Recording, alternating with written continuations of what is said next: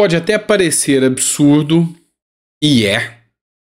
O general Gonçalves Dias, aquele das filmagens dentro do prédio do Palácio do Planalto no dia das invasões, foi inocentado por um relatório do próprio GSI. A gente vai explicar um pouquinho para vocês sobre esse assunto aqui que chamou atenção, causou indignação de alguns deputados e a gente vai falar um pouco sobre isso. Não esquece de deixar o like, curtir, compartilhar, isso é muito importante para a gente, tá bom? Dá uma olhada nessa matéria. Matéria do Jovem Pan, citando a fonte aqui.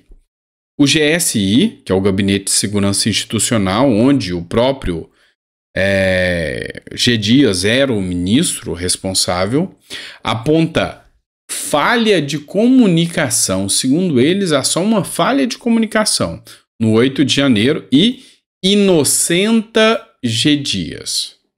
Em sindicância, GSI afirma não ter recebido informações da Secretaria de Segurança Pública do Distrito Federal ou da Agência Brasileira de Inteligência sobre a gravidade dos atos. Ou seja, nessa sindicância, o próprio GSI, em ação, em processo administrativo que ele moveu, disse que não recebeu informação, teve um delay, uma, um apagão, digamos assim. E aí, isso aí fica meio grave, né? Porque como que pode ser inocentado diante de tantos fatos, de tanta documentação, do próprio Saulo, que era diretor adjunto Tabim, falou que tinha mandado informações direto para o G Dias, isso realmente fica difícil de engolir, né? Aí o Tomé Abdu, que é deputado federal, ele escreveu o seguinte: Gonçalves Dias inocentado. Em sindicância, GSI afirma não ter recebido informações sobre a gravidade do 8 de janeiro. E ele escreve o seguinte: o Tomé Abdu. Gonçalves Dias é inocentado, mesmo com diversas provas contra. O então ministro-chefe do GSI, Gonçalves Dias, flagrado dentro do prédio interagindo com manifestantes, além de provas de que ele havia redirecionado uma fraude no relatório do dia, foi inocentado. O GSI ou a GSI considera que o fator principal para os atos foi uma falha de comunicação. Enquanto há provas robustas contra figuras do alto escalão, eles se contemplam em culpar a Secretaria de Segurança Pública do Distrito Federal, assim como o ex e o atual comandante da Polícia Militar do Distrito Federal, presos pela Polícia Federal.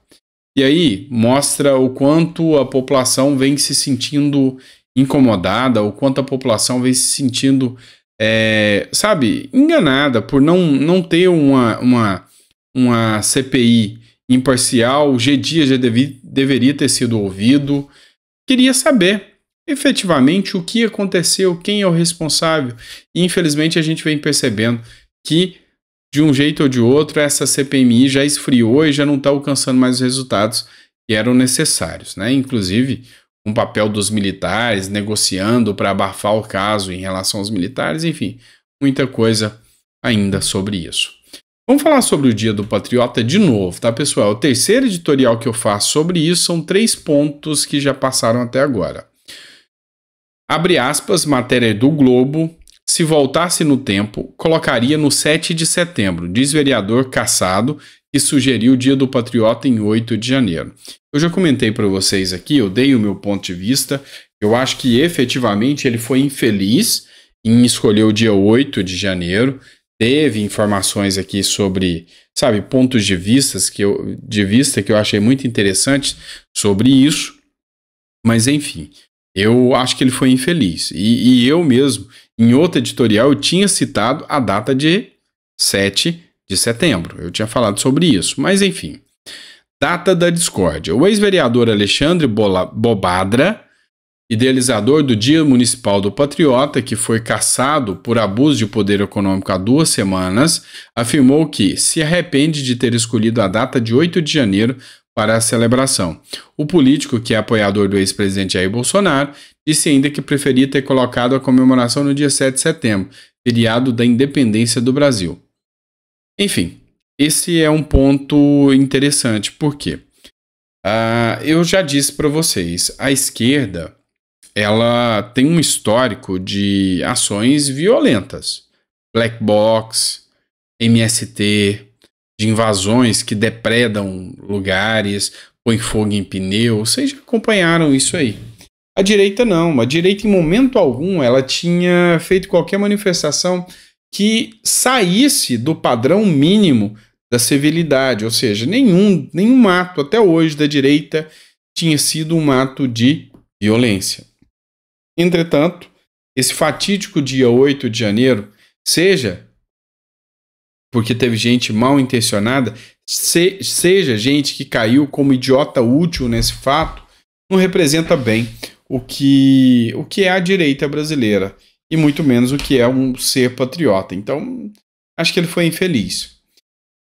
Aí, como resposta, a Câmara de Brasília resolveu colocar uh, o dia da virada, dia da patriota, lá em Brasília como o dia da democracia.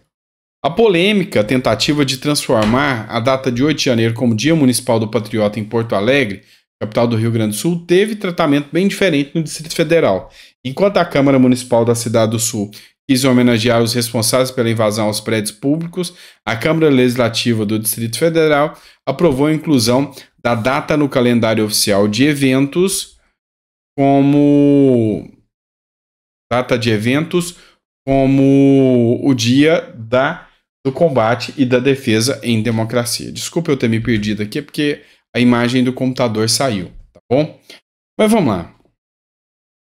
Dia da democracia também não representa. Nem de longe poderia ser caracterizado como o dia da de democracia ou dia da defesa da democracia. E também não acho que é o dia do patriota. Acho que não, não coaduna. Acho que é um dia mais não para ser lembrado, um dia que merece ser esquecido da nação brasileira. Pode ter certeza disso. Vamos lá. Outra pauta agora é sobre o Mauro Cid, pessoal. O Mauro Cid, que está na mira da oposição, da, da na mira do, do, do governo Lula, fazendo oposição ao ex-presidente Bolsonaro.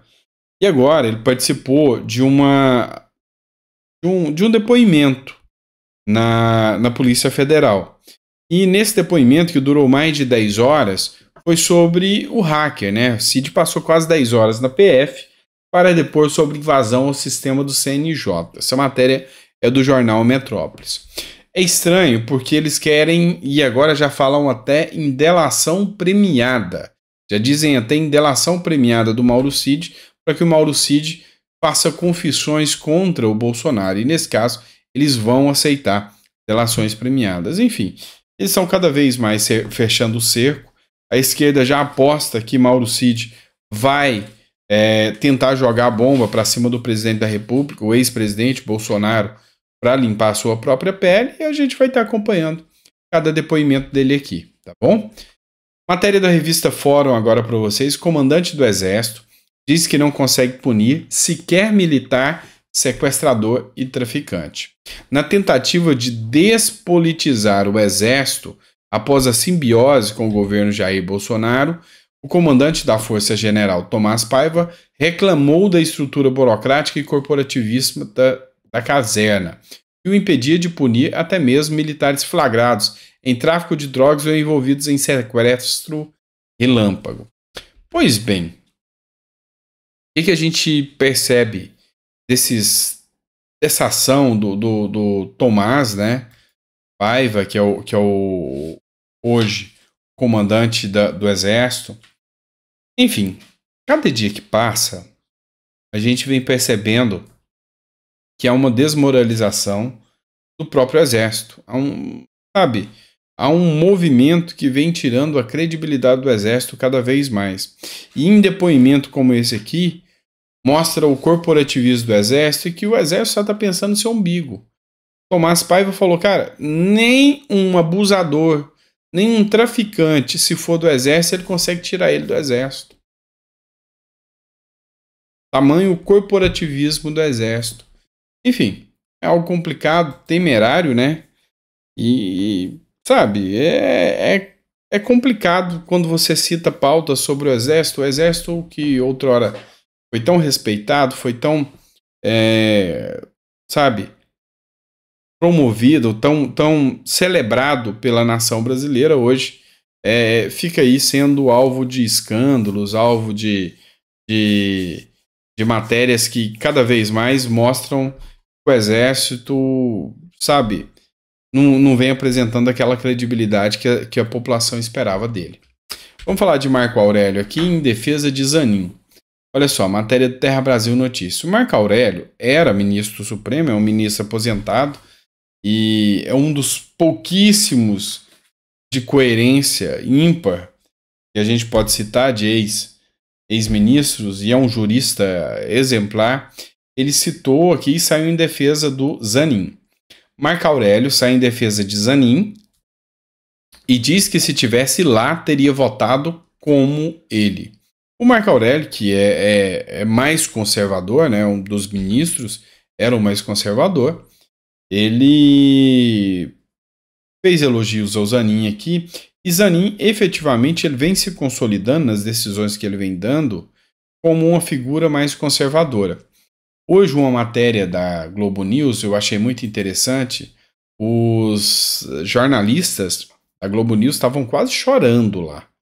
Porque a ah, Zanin votou contra LGBTQIA. Zanin votou contra as drogas. Se tiver decisão contra o aborto, Zanin vai ser contra o aborto.